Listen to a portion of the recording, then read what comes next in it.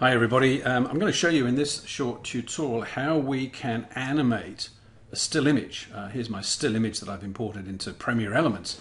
Uh, and as you can see if I just play this, uh, it's not terribly interesting if you go from obviously a moving video clip to a still image. Now it's actually very easy to do. I've imported uh, my picture. If I click on the picture in the main window you can see I've actually enlarged it so you can make them go larger or smaller. And as a tip, what I do is when I bring in my still images, I actually reduce them using Photoshop uh, beforehand, and I save them at about two and a half thousand pixels uh, wide. And the point of doing that is, uh, number one is if you're importing 60 megabyte or even 80 megabyte files just for a, I don't know, two or three second glimpse of a picture, it, uh, it uses up a huge amount of res resources in the in the computer, so it, it it's not needed. Uh, two and a half thousand is a good number because that allows me then to blow it up as I've done here a little bit uh, without it losing uh, some of the detail. So let me show you how to, how to do that. So I've, I've, brought it in. When I click on the image, I get the little blue line. And if I just shrink it down, you can see there's the size of the shot.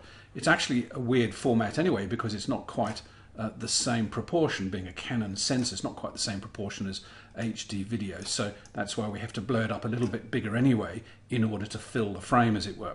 But I'm going to do a little bit more than fill the frame, and I'm going to go way over the top because if I move the playhead off to the left here, just to the beginning of that particular uh, still image, I want to just have that part viewing uh, when we start. And as the playhead rolls over the still image, I want it to end up with that amount on the right hand side. So let's just pull it back to that size. And again, this is just a random number. I, am you know, I could be, I could actually make it much bigger. I could make it smaller, but I think that this is probably going to be more or less enough for us.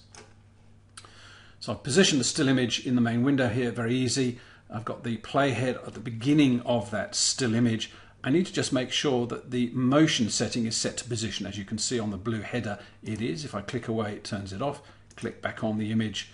If it isn't there, you can right click on top of this, move down to the motion and just choose position. It's already set position, so that's going to work.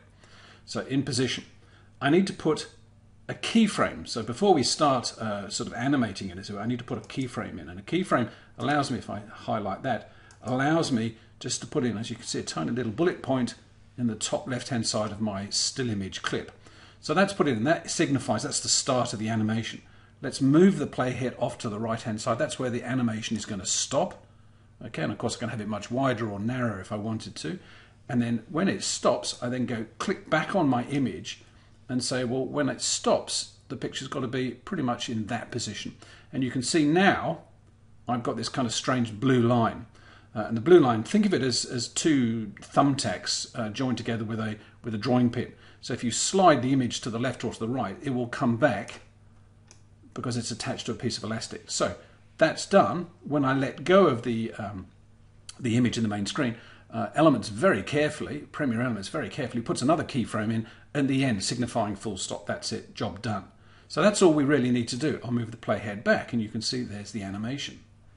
So let's play that. It's going to look a little bit on the jerky side because it needs to be rendered. Let's just try that again. That's playing. There's the real video and here's the still image panning across. And of course you can do this in any direction, up, down, sideways, left or right, either way you want to go. And that very simply is how we animate a still image using Adobe Premiere Elements.